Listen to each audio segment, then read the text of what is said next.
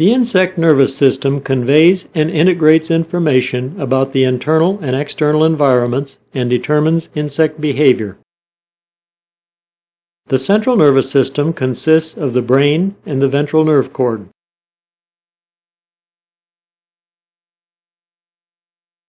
Here is a detailed top view of the central nervous system. The brain consists of dumbbell-shaped visual lobes with nerves that project outward to the retina of the compound eyes.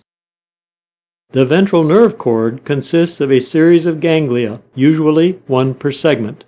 Ganglia are thickened regions of the nervous system that contain the cell bodies of the nerve cells. The ganglia of the ventral nerve cord are connected by paired nerves called interganglionic connectives. Finally, the brain is connected to the ventral nerve cord by a pair of nerves that pass around the esophagus and connect to the subesophageal ganglion.